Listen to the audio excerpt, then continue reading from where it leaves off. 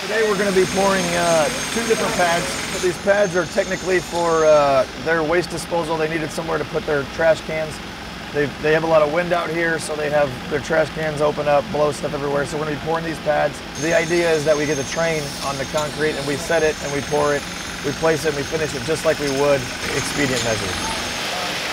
The Brits have done a great job of, of organizing everything. We've gotten, you know, drawings from them, so we knew what we were getting into when we got before we got here. They've done a good job getting us all of our tools. Their standards are a little bit different than ours. They do things a little bit different than ours, and we're learning that.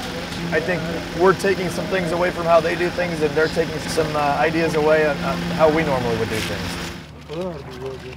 That's been my expectations. Uh, been smashed out of water. Day one, they smashed the, the, the shed over the scout train area, and uh, they're all hard workers and um, and a lot, um, and a very good, a very good tradesman.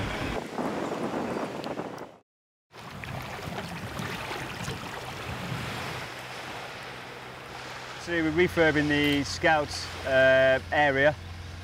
So the plan was to take down an old Scout hut and relocate it, as you see behind us on the new floor, uh, and then basically a new barbecue area, seating area, and uh, basically just tidy up the area.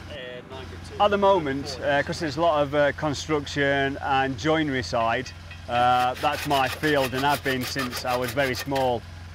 I'm helping the Americans basically do our way of construction. We're very similar. It's just uh, obviously you use feet and inches, well you, we use uh, millimetres, metric type. So, but yeah, we're just working along fine. So much has been accomplished. We took apart the whole building that we needed to take apart. It took us a day. And after that, we got everything moved. We put the floor together. We have put the walls back up. We put footings in, the new concrete footings that the building sits on. We put the roof back on today. And we are right now starting the porch. So these are getting done so that we can put the roof on the top of the porch.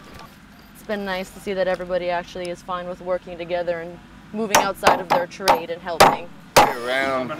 It's going to be safer than this huge hill. Yeah. We're all about safety. Safety first. It's all about safety. Safety first. It's been good. We have mostly a lot of knowledge on how things actually work in the real world and different things about other kinds of jobs. Learned more about concrete and other things that I didn't know very much about to begin with. It's been very interesting. It's been very fun.